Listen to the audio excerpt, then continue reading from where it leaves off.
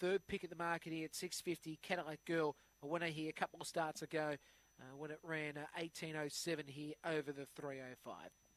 Green light lure driven, set to go for race number four to Commercial Hotel Juvenile. Ready?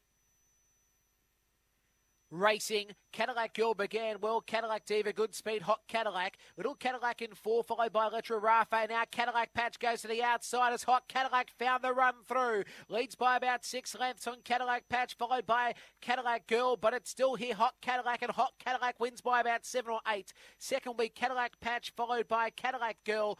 Next in would have been here uh, Little Cadillac alongside Cadillac Diva, Letra Rafa, and 17 and 8 around about the trip. Hot Cadillac too good. Hot Cadillac, the five yellow, winning the prize here. A sensational race. The eight will get second in Cadillac Patch and Cadillac Girl third. So the Cadillac's having a good day. And Captain Abbott will be absolutely chuffed about that race indeed. Cadillac one, two, and three. Hot Cadillac first for Captain Abbott. It's a black girl from Aston Dee Bee out of Regatta. Second goes to eight pink in Cadillac Patch.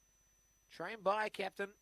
And it is a white and brindle dog from Aussie Infrared out of Lady Bang Bang. And third one red Cadillac Girl for Captain Abbott.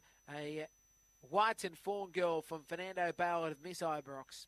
Five, eight, one, two will be your numbers. Five, eight, one, and two.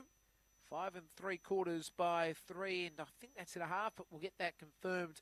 580.